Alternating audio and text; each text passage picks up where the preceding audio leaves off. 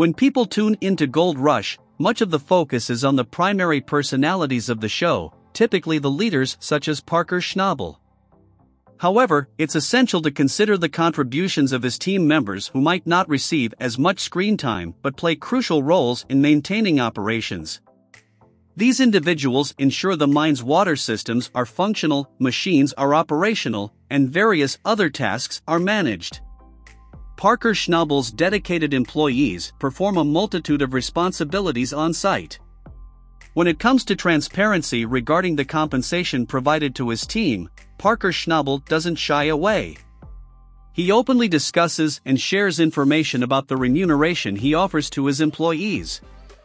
On Gold Rush, The Dirt, Parker Schnabel casually revealed to host Christo Doyle that he compensates his employees with a sum of 140 grand for their six-month stint in the mining operation. These employees under Parker Schnabel's wing enjoy a substantial income for a relatively short period of work, precisely $140,000. While this figure might appear quite attractive, it's important to note that gold mining doesn't adhere to the usual confines of a typical 9 to 5 job. As pointed out by a Reddit fan, it could be more accurate to describe this arrangement as condensing 18 months worth of work into just 6 months. Additionally, there's speculation that the currency mentioned might be in Canadian dollars rather than USD. Regardless, the $140,000 serves as a baseline salary, augmented by performance based bonuses earned by the crew for their contributions to the mining operation. Thus, this figure serves as a rough estimate rather than an absolute number. Nonetheless, it presents an enticing remuneration for individuals seeking a venture outside the ordinary. Parker Schnabel provided clarity on Reddit regarding his initial workforce, sharing that they dedicate approximately 75 hours per week to their tasks, earning an average rate of about $34 per hour. These employees typically gather around $40,000 for their demanding role in operating rock trucks, a profession characterized by its arduous nature and time intensive demands. Given these circumstances, it's not surprising that Parker believes that the only resource you truly expend is time. The demands of the gold rush crews throughout the mining season are extensive. According to Schnabel, an 8 hour workday falls short in achieving the necessary outcomes. We usually work 7 to 7, but as the year progresses, the darkness at 7 in the morning is too much, so we shift to a schedule like 8 to 7, Schnabel elaborated. While this may seem like a rigorous daily routine, it's essential to recognize that the Gold Rush teams can only access the mine sites for a 7 month window in the year.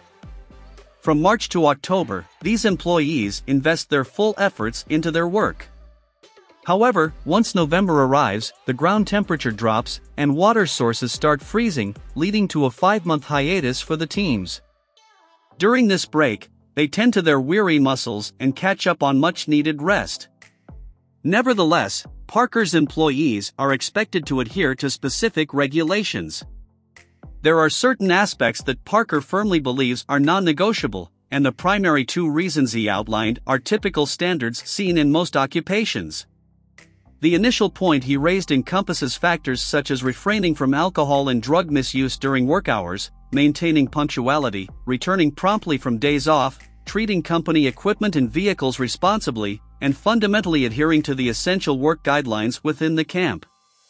Moreover, the crew members not only receive their regular compensation and performance based bonuses, but they also have the opportunity to supplement their income through discovery.